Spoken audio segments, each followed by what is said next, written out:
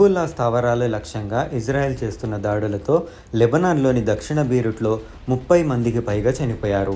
ఓ భవనంపై జరిగిన క్షిపణి దాడిలో హిజ్బుల్లా చీఫ్ నసరుల్లా సోదరుడు హషీం సైఫుద్దీన్ మృతి చెందినట్లుగా తెలుస్తోంది.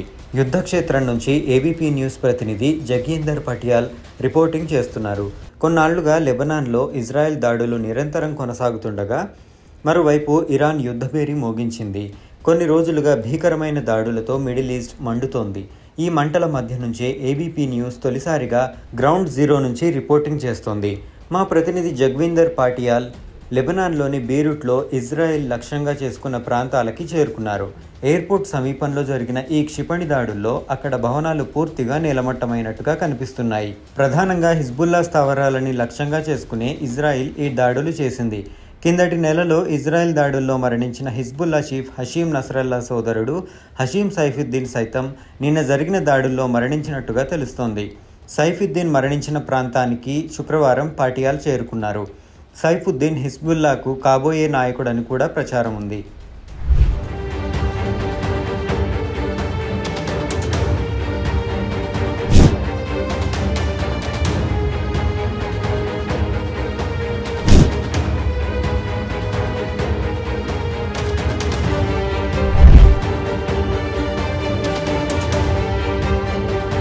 मौत बताकर नहीं आती और अगर दुश्मन इसराइल जैसा मुल्क हो तो हरगिज भी नहीं। मैं इस वक्त मौजूद हूँ उस अपार्टमेंट एरिया में, जो बेरूत के दक्षिणी इलाके में, दाहिद में मौजूद है और इस पूरे इलाके में कोई भी आदमी नहीं रह रहा है, लेकिन इस इलाके में तकरीबन 40-50 जगह पर इसराइल की तरफ़ से स्ट्राइक किए गए हैं। पीछे मेरी तस्वीरें देखिए, ये अपार्टमेंट की उस बिल्डिंग को यहाँ पर एयर स्ट्राइक से नष्ट किया गया है, जिसमें एक बड़े कमांडर के मारे जाने का दावा किया जा रहा है।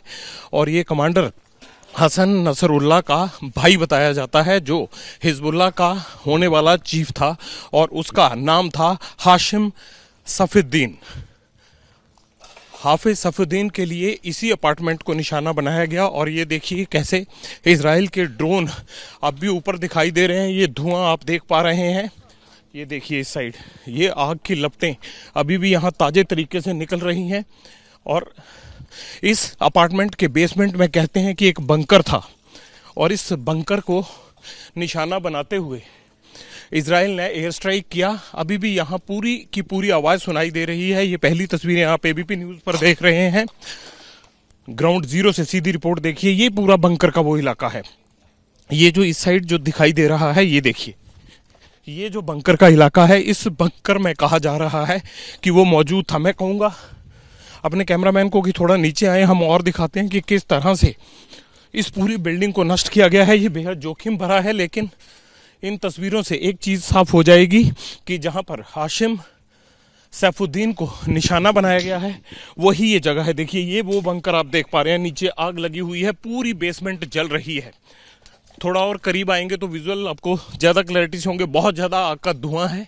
और इन तमाम चीज़ों को देखकर आप अंदाज़ा लगा सकते हैं कि इसराइल ने कितना भयंकर यहाँ पर एयर स्ट्राइक किया है और उस एयर स्ट्राइक में हाशिम कहा जा रहा है कि मारा गया है। हालाँकि इसकी पुष्टि होनी बाकी है। काफ़ी बड़ा बंकर मैं देख पा रहा हूँ। नीचे पूरी बेसमेंट है अपार्टमेंट की। थोड़ा मैं चाको को कहूँगा, आप आगे आइए। यहाँ से ये तस्वीरें पूरी दिखाई देंगी। ये देखिए, पूरी की पूरी बंकर। और इस बेसमेंट में अपार्टमेंट के बेसमेंट में अभी भी आग लगी हुई है। ये तस्वीरें, इस तरह की तस्वीरें आप सिर्फ़ और सिर्फ़ एबीपी न्यूज़ पर देख सकते हैं। अभी सुबह के यहाँ, करीब करीब मैं आपको यहाँ का लोकल समय बताता हूँ। छः बज के बीस मिनट हुए हैं। और छः बज के बीस मिनट पर ये अभी तीन चार घंटे पहले रात को स्ट्राइक किया गया है। कल हमने आपको दिखाया था कि दाहिद इलाके में कैसे हिजबुल्ला के ठिकानों पर चुन चुन कर हमले किए जा रहे हैं। ये उसी बेसमेंट की तस्वीरें हैं, पहली तस्वीरें आप देख पा रहे हैं, जहाँ पर हमला किया गया और यहाँ पर हाशिम को मार गिराया गया। नसरुल्ला जो कमांडर था, मुद्दत तक कमांडर रहा। उस कमांडर के भाई को, जो हिजबुल्ला को अभी कमांड करने वाला था, उसको इसराइल ने एयर स्ट्राइक से मारा है। इस बंकर में, कहते हैं, अपार्टमेंट के बंकर में किसी मीटिंग के लिए हाशिम आया हुआ था और उसकी इलेक्ट्रॉनिक सर्वेलेंस के ज़रिए तमाम ट्रैकिंग करने के बाद इस अपार्टमेंट को टारगेट किया गया। ये पूरा इलाका दाहिद का, जो हिजबुल्ला का गढ़ माना जाता है। इस हिजबुल्ला के गढ़ में कोई भी आदमी नहीं है। ये पूरा इलाका खाली करा लिया गया है। आप ये देखिए पीछे एयर स्ट्राइक इतना जोरदार था कि पूरी बिल्डिंग के इधर, पूरे परखच्चे उड़ गए हैं। ये अपार्टमेंट की मल्टी स्टोरी बिल्डिंग्स हैं। इन अपार्टमेंट की मल्टी स्टोरी बिल्डिंग्स में ही हिजबुल्ला के लोगों के बारे में कहा जाता है कि वो रुकते हैं, अपनी मीटिंग्स करते हैं और ये हिजबुल्ला के सपोर्टर्स का गढ़ माना जाता है। ये तस्वीरें देखिए इस बिल्डिंग में जहाँ पर हाशिम को टारगेट किया गया। वहाँ पर ज़मीन से लेकर बेसमेंट तक तमाम जगह आग की लपटें नज़र आ रही हैं। एबीपी न्यूज़ पर ये सीधी तस्वीरें आप उस इलाके की देख पा रहे हैं। ये एक गाड़ी खड़ी है, अंदर बेसमेंट का इलाका है। हालाँकि ऐसा लगता है कि अटैक से ये कहीं गिर सकता है कंक्रीट का, लेकिन हम आपको दिखाते हैं कि इसकी बेसमेंट में अभी भी ये आग जली हुई है। इससे पहले यहाँ पर लगता नहीं है कि कोई भी आया है और डिस्ट्रक्शन बड़े स्तर पर हुआ है। ये देखिए, अभी भी ये गाड़ी खड़ी है। यहाँ आग लगी हुई है। इस बिल्डिंग में हो सकता है थोड़ी बिल्डिंग में ये बिल्डिंग कोलैप्स कर जाए। ये एक गाड़ी पार्क है। ये गाड़ी किस तरह से थी, किसकी आई थी और कैसे इसको पूरे मसले को ट्रैक करके टारगेट किया है इसराइल ने। आप देखिए कि कितनी ज़बरदस्त हिजबुल्ला की चप्पे चप्पे पर उन्होंने रैकिंग की हुई है और ये पूरा इलाका तहस नहस कर दिया गया है। ये देखिए, यहाँ से एक ग्रैंड व्यू हम आपको दिखाते हैं इस डिस्ट्रक्शन का।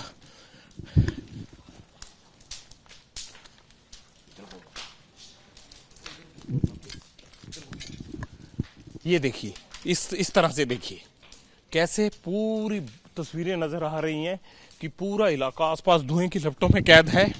बेहद जोखिम भरा है इस यहाँ से ग्राउंड रिपोर्टिंग करना, लेकिन एबीपी न्यूज़ वो चैनल है जो हर चीज़ सबसे पहले ग्राउंड ज़ीरो से आपको दिखाएगा। और जब बात हो लेबनान और इसराइल के युद्ध की, और जब हम इस ग्राउंड ज़ीरो पर मौजूद हों तो हो ही नहीं सकता कि सुबह सवेरे ये तस्वीरें, पहली तस्वीरें आप तक ना पहुँचे। यहाँ भी ना कोई आपदा प्रबंधन की, ना यहाँ कोई आपदा आपदा प्रबंधन का कोई आदमी आया है। ये बिल्डिंग हो सकता है कि गिर जाए, इसमें आवाज़ आ रही है। लिहाजा ना भी यहाँ पुलिस पहुँची है, ना कोई हिजबुल्ला के बाकी लोग हैं, पूरा इलाका खाली पड़ा है। हालाँकि ये बहुत घनी आबादी वाला इलाका है और माना ये जाता है कि इन बिल्डिंग्स में ही हिजबुल्ला के सपोर्टर्स और उनके कमांडर्स लगातार रहते हैं। आप शायद कैमरा से आवाज़ ना सुन पाए, लेकिन मैं कान से ये आवाज़ सुन सकता हूँ कि ड्रोन की आवाज़ लगातार अभी भी ऊपर सुनाई दे रही है, वो सर्वेलेंस करते रहते हैं। अगर इस मौके पर कोई भी पहुंचेगा तो ज़ाहिर सी ज़ाहिर सी बात है कि उसको यहाँ पर पहुँचने के लिए इसराइल फिर टारगेट कर सकता है। हमें ये इलाका खाली करने को कहा जा रहा है और ये भी कहा जा रहा है कि ये बिल्डिंग गिर सकती है, इसलिए ये पहले से ही सारे इलाके को खाली करवा लिया गया है। आप इसे तुरंत हिला दें, लेकिन ये बड़ा एयर स्ट्राइक एक बार मैं फिर आपको बता दूँ इसराइल ने एक बड़ा एयर स्ट्राइक किया है और हिजबुल्ला के कमांडर हाशिम सैफ, सैफुद्दीन को यहाँ पर बंकर के अंदर जो बेसमेंट था इस अपार्टमेंट का वहाँ मार गिराया गया है और ये सीधी तस्वीरें आप देख रहे हैं दक्षिणी बैरूत के उसी इलाके से जहाँ पर कुछ घंटे पहले इसराइल का स्ट्राइक हुआ है। यहाँ पर अभी तक कोई भी शख्स मौजूद नहीं है। आसपास की बिल्डिंगों को भारी नुकसान पहुँचा है और ये तमाम बिल्डिंग्स को एक तरह से धराशायी कर दिया गया है। ये बंकर जो थोड़ी देर आपको हमने पहले दिखाया आसपास की बिल्डिंग को देखिए कि किस तरह उनके खिड़कियों के और उनके परखच्चे उड़ गए हैं। धुएँ धुएँ की लपटें अब भी पूरे बेसमेंट से निकल रही हैं। कहा यही जा रहा है कि हाशिम इस बेसमेंट के अंदर मौजूद था। अपने जो बाकी के कमांडर्स थे, उनके साथ मीटिंग करने के लिए पहुँचा था यहाँ। उसे इसराइल ने ट्रैक किया और इस अपार्टमेंट की बिल्डिंग में बेसमेंट के अंदर ही उसे निशाना बनाया गया। हालाँकि इसराइल की तरफ़ से अभी तक इस बारे में कोई भी पुष्टि नहीं हुई है कि उसे मार दिया गया है नहीं। लेकिन इसराइली मीडिया की तरफ़ से ये खबरें ज़रूर आ रही हैं कि हाशिम को मार गिराया गया है। हाशिम भाई था नसरुल्ला का और हिजबुल्ला की कमांड संभालने वाला था।